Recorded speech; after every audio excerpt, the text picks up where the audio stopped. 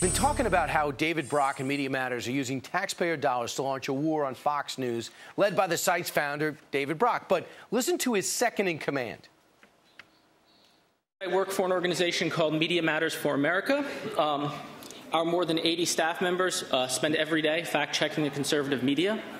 They're fairly busy people. Um, however, our fight has uh, changed recently. Really? Uh, that was Ari Rabin Havt, Executive Vice President for the site. Fox News contributor Juan Williams joins us right now from Washington, D.C. He's the author of a brand new book called Muzzled The Assault on Honest Debate, which will be released on July 26. Talk about honest debate. Is there an honest debate going down here by, by an organization that says they're a watchdog for the media when they're really going after Fox News? Who's this guy, Ari? Well, you know, Brian, obviously it's not an honest watchdog group anymore. They used to monitor the media and point out things that were wrong, false, inappropriate, which is fine. But what you're hearing from Avi Rabin Havt is that really now they're involved in opposition research. They're digging up dirt on people. They're trying to ruin people's lives, reputation, because they disagree with their politics. And in specific here, what they disagree with is conservative politics, and they really don't like Fox News.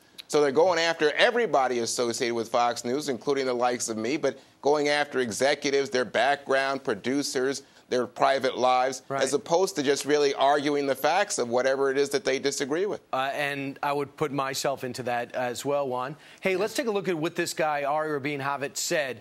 Here's an example. Uh, Media Matters is conducting opposition research on a dozen or so mid and senior level execs and producers. I guess they're trying to see if they're disgruntled and will turn on the organization. He said, We made a list of every single person who works for Fox and tried to figure out who might be disgruntled and why we went out to try to meet them. Is this unbelievable that this is with this guy's mission?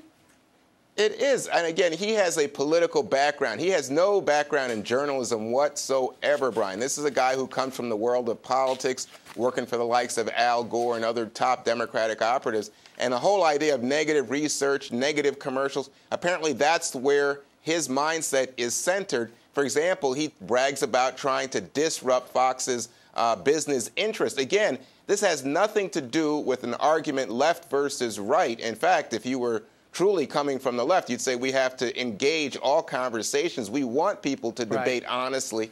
But here's a guy who's trying to ruin a business. And how that's charitable and how that, you know, qualifies for a 5013C as a charitable and educational institution is incredible. I mean, it's just a clear violation of the law. We know your problems with uh, NPR and our problems because of that as well. Yeah. But do you, even, do you think they would ever even do something like this?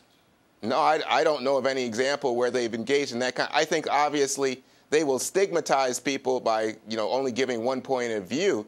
But here you have a situation with Media Matters where if you at all vary from some sort of liberal orthodoxy, you're in their crosshairs. They attack in a way that is intended to ruin your personal life, ruin your business. It has nothing to do with an honest debate. I mean, to me, this is the contrary of everybody who says, you know, we love America, we want to have right. a debate between left and right, let's get the truth out. Here are where you're right on the facts, here's where you're wrong on the facts. That's not what's going on here. Right. I think people need to understand this is about ruining people and trying to take a company down to destroy right. a company. Hey, Juan, we'll have you on again. I can't wait to talk uh, to you about your new book, Muzzled. Congratulations on it, and I'll talk to you Thanks, soon. Thanks, Brian.